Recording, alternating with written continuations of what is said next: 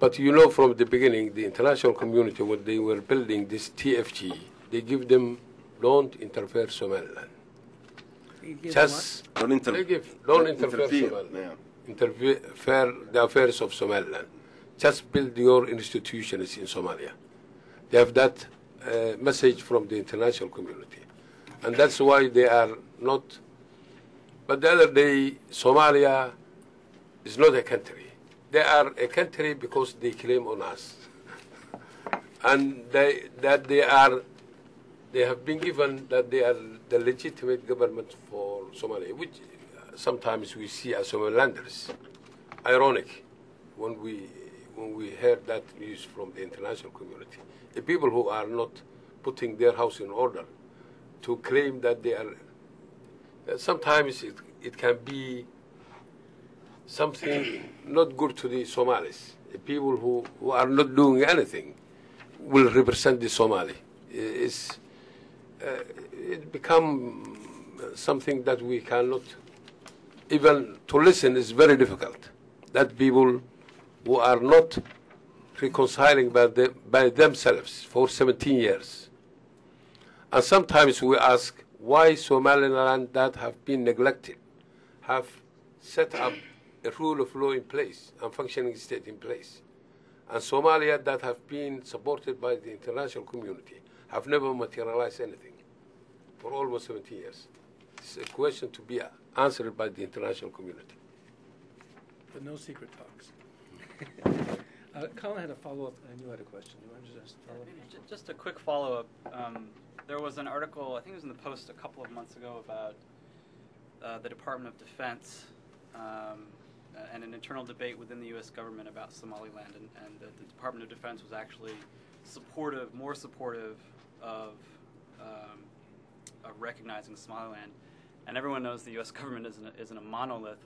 So do you do you do you see different parts within the U.S. government that are more sympathetic, and are, is there a is there a strategy to I'm aware of. run the More- interagency more or from the less, I outside? can answer. More or less, we met with the State Department, we met with the Pentagon, we met different places. I, I see all are sympathetic, but we at last we concluded if we, they showed us that the willingness that they can do something f- for us in the future. But we concluded that if there is a will, there is a way. Let them try to sort out a way that they can help us in the future. That was the conclusion that we made. If I, if I may, if I may, if I may add to what the president is just saying, that uh, you know, I'm aware, we are aware of the article, of course. You know, I read it as you read early in the morning with the first cup of coffee. It was really good to see that. You know, I mean, it has been a long drought for me here in Washington D.C. so, so the issue is just that uh, I would say that no, there is no division, as a matter of fact. And again, when it comes to the harmonization between the two departments, from what we have seen only, I cannot otherwise say that, particularly on this issue, I think they, you know, the, the, the policies for the Department of State and the feeling seems to be mutual, but we will see where it goes. Thanks. Yeah. Uh, I'm Catherine Southwick. I'm from Refugees International. And uh, President, I was wondering if you or your colleagues could speak a little bit about, um, well, the fact that you're this uh, sort of an island of peace in a very volatile region. What are, what are you anticipating in terms of refugee flows into Somaliland, and what is, you know, what is your assessment of Somaliland's willingness and capacity to host these refugee populations? What kind of plans are in place or may should be in place? It will be very difficult for us to receive uh, refugees. They are in place already. They have they came all the way from Mogadishu. Some came come from Ethiopia. They are in place, but we cannot receive refugees because to our capacity. Because there are already internally displaced people of our own in place. The, UNHR brought all our refugees from Djibouti and from Ethiopia, about 800,000, are still, they are scattered in the streets. They have no shelter, no houses. So it will be very difficult for a country like us to receive uh, refugees. Although we didn't send them out, but we cannot help them. We have time for just one last question, Mr. President, and then we, his schedule requires that we adjourn. My name is Andre Le Sage. I'm at the National Defense University. Uh, I was wondering if you could comment on the situation in Somalia and what you see as the prospects for further reconciliation there, the ability of the transitional federal government to broaden its base of support and maybe become more inclusive and stabilize the situation, and if you'd have any advice to give them uh, on their way. I would have given them advice if they like it. But uh, they didn't need advice because they, they are satisfied with their situation because they are a government who goes to all forums, to the United Nations, to the African Union, to the Arab League, to the Islamic Conference, and I think they are satisfied with this uh, scenario. They, they have been uh, doing this business for the last 17 years, and they never change, uh, make any change on the ground.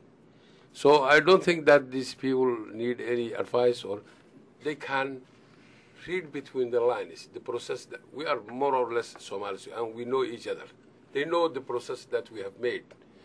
We we focused and addressed our own problems one by one and solved the problem. They would have done like that, but unfortunately they are not ready for that because they are Uh, entertaining this conference that they are going to, to abroad.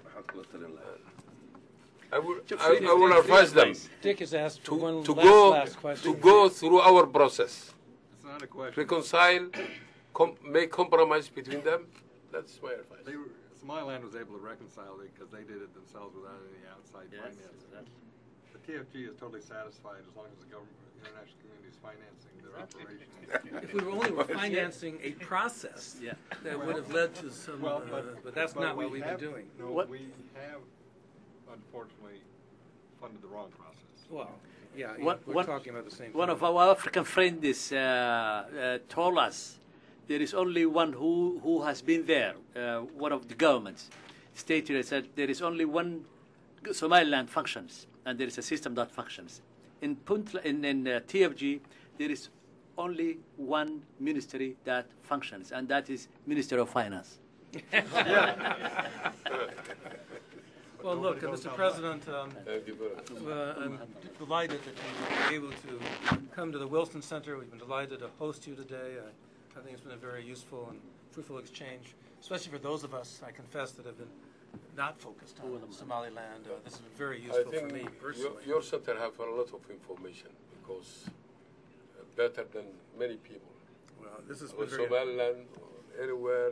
Well, my, my last intensive engagement was in the good old days of Siad Barre. I will close in just one little anecdote, which sort of reinforces your last comment. I, uh, we met with Siad Barre in 81, my first time I was in Somalia, and with his entire government. We were there for several days. Uh, and six months later, the entire government met with me again, this time in my congressional office when I was chairing the Africa subcommittee. And they were there to tell, and now they were all were dissidents. And they were there to tell me that everything they had told us six months earlier were a pack of lies. Unfortunately, that tradition is somewhat continued. But, uh, but thank you so much. It's Thank been you really very great Thank to have much. here. Thank you very much. Thank you I appreciate it.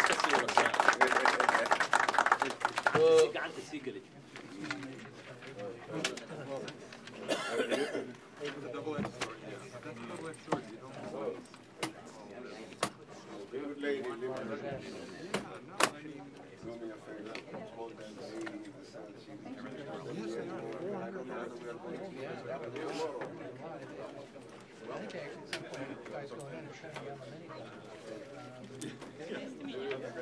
That means that you should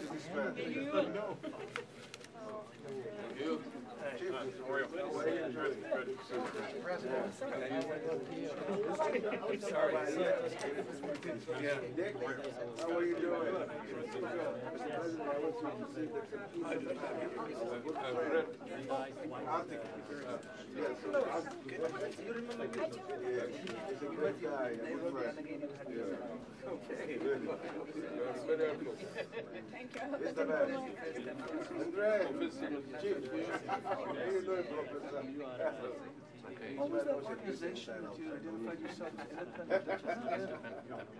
Yeah.